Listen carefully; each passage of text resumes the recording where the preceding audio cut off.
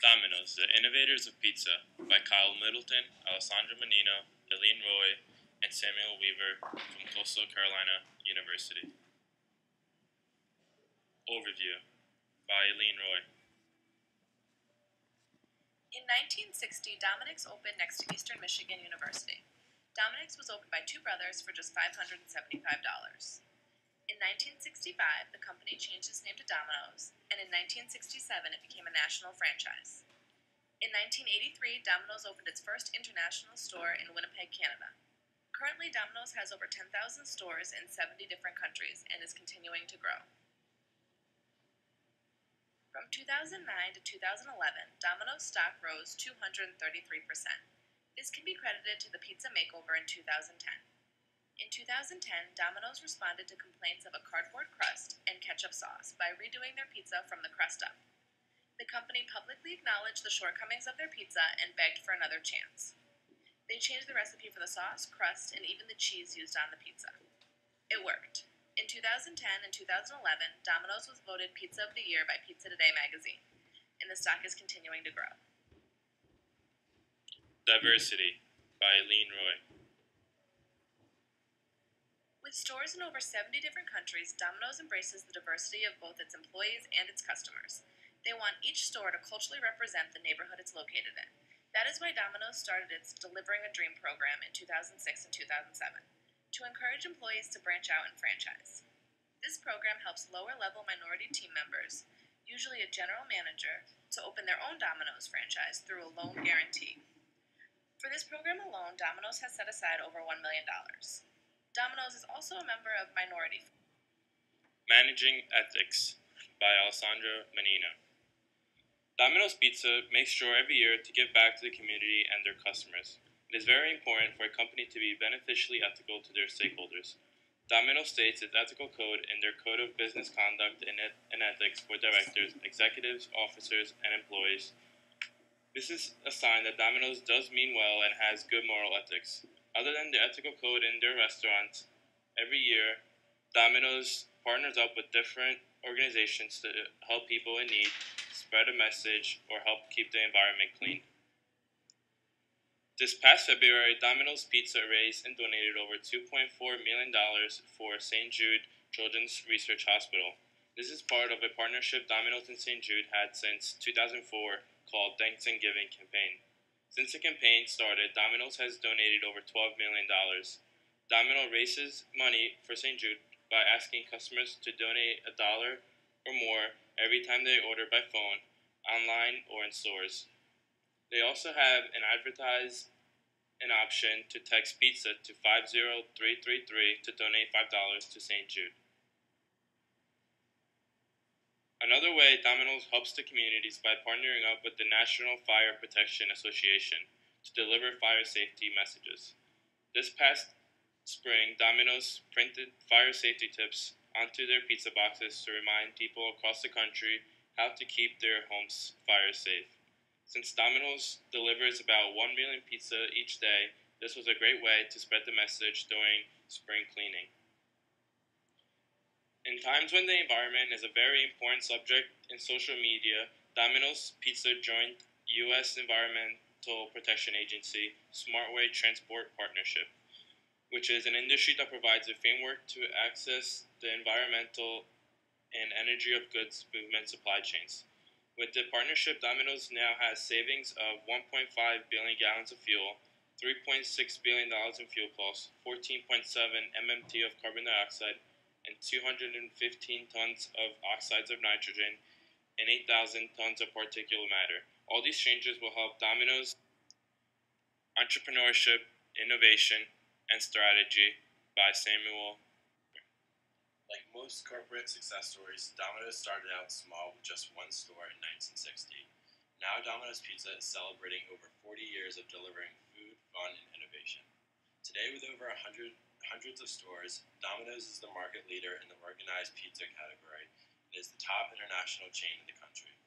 Domino's Pizza utilizes many strategies to market their food, not simply by managing their television commercials or website, but concealed techniques through the industry to organize and manage the framework of a business.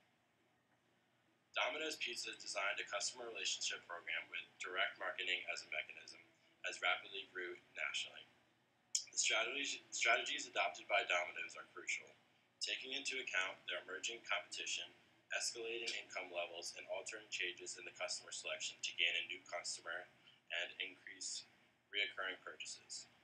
Domino's emphasizes the priority to recruit, recognize, and retain the best people, deliver consistently high quality food on time, and take care of customers, innovating ways that matter to our team members and customers ensure high image standards at our stores. Domino's creates an executive, executively devoted customer relationship, an effective way of managing the business. Direct marketing is an excellent entrepreneurial strategy of Domino's Pizza used to organize and manage the business promotional methods. Domino's Pizza, an uproar of our society, developed as they selected a beneficial and unique market technique that was not being utilized and featured by their other competitors. They chose home delivery as a method to promote their product. Although home delivery was not considered a new movement, this process was found to be extremely successful while requiring little resources. The success was partially due to the guarantee of the 30 minute or less delivery. Domino's exists to fulfill a basic need for customers to provide a high quality, freshly prepared hot meal delivered on time every time. Delivering a freshly baked pizza within 30 minutes is a pretty big challenge. Free delivery, fast service, and delicious pizzas pizzas uh, created an advantage over other pizza businesses and expansion within the corporation. Their new guarantee is more suitable, staying. if you are not completely satisfied. Quality Control by Kyle Middleton. Focusing on quality is important because it has a chain reaction effect on a business. When you increase quality, it increases reliability, the company can charge higher prices, and it increases productivity. If a company can also lower costs while maintaining a high quality product, it produces much higher profits. This is exactly what Domino's Pizza has been improving for the past couple of years. For example, in 2007, Domino's launched online pizza ordering. In the fourth step of the process, just before the pizza finishes, Domino's implemented total quality management to revamp their operations. The company was flexible in adding new items to their menu. However, Increasing quality isn't always what it seems. In this case, Domino's approach to improving the quality of their pizza was develop a new line of pizzas with 40% more cheese and proceed to devise and pay for a $12 million marketing campaign. In September 2011, Domino's launched a new style of gourmet pizza. Domino's CEO Patrick Doyle said, We have never launched anything that showcases, showcases our quality ingredients and craftsmanship quite like artisan pizza.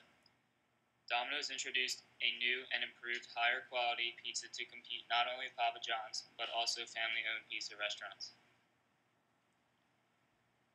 The biggest indicator of Domino's success is their stock price over the past four years. On December 31st, 2007, Domino's stock sold for $11.72. Four years later, on December 26, 2011, the stock sold for $33.95. Domino's was nearly was able to nearly triple its value over the four-year time period. That's not to say, however, that they didn't overcome obstacles along the way. On November 17, 2008, there was a point where their stock reached an all-time low $3.03. Conclusion by Kyle Middleton. Domino's is a company that truly cares about its customers.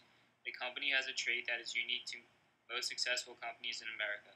Domino's has the ability to gather information, opinions, and data on their customers and use this as a foundation for making decisions. The company has been around for 52 years, and although during that time they have faced many obstacles, they were able to persevere, so eventually they grew. The end. Thank you for watching.